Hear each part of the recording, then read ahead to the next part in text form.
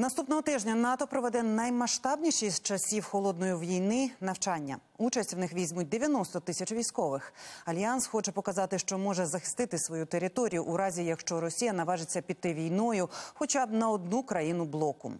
Як і де відбуватимуться маневри, і наскільки реальна загроза, яку відпрацьовуватимуть військовики, Тетяна Лугунова розкаже. 90 тисяч військових і 4 місяці маневрів. Північно-Атлантичний альянс планує провести найбільше навчання за останні кілька десятиліть. Вони стартують у лютому незадовго до другої річниці повномасштабного нападу Росії на Україну. Відбуватимуться на території низки держав НАТО від Норвегії до Румунії. Утім, основний акцент альянс зробить на захисті свого східного флангу.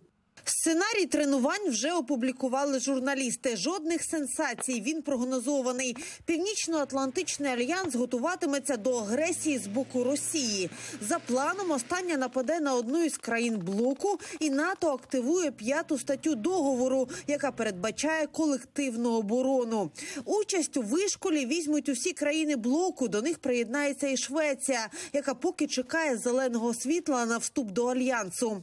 Під час навчань бійці відпрацьовуватимуть оповіщення, розгортання національних та багатонаціональних сухопутних сил і передислокацію контингенту та техніки з північної Америки до Європи.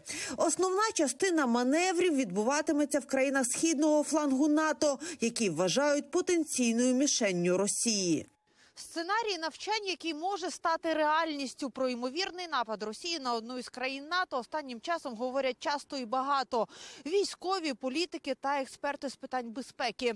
Усі називають схожі часові рамки від 5 до 8 років і зони ризику Польща та країни Балтії. Такий варіант розвитку подій серйозно розглядають і в Німеччині. Наприкінці минулого року німецьке товариство зовнішньої політики опублікувало аналітичне дослідження під назвою Запобігти наступній війні. Його автори вважають, у разі припинення бойових дій в Україні, наприклад, у результаті замороження війни, Росії знадобиться щонайбільше 10 років, аби відновити свій військовий потенціал і теоретично зазіхнути на одного із членів альянсу. Експертів згоден і міністр оборони Німеччини Борис Пісторіус. Напередодні в інтерв'ю одному із видань він застеріг, Путін може напасти на одну із держав НАТО за 5-8 років. Тож альянс має бути готовим дати відсіч агресору. Тетяна Логнович, Слав Фролов, подробиці німецьке бюро телеканалу Інтермарафон. Єдині новини.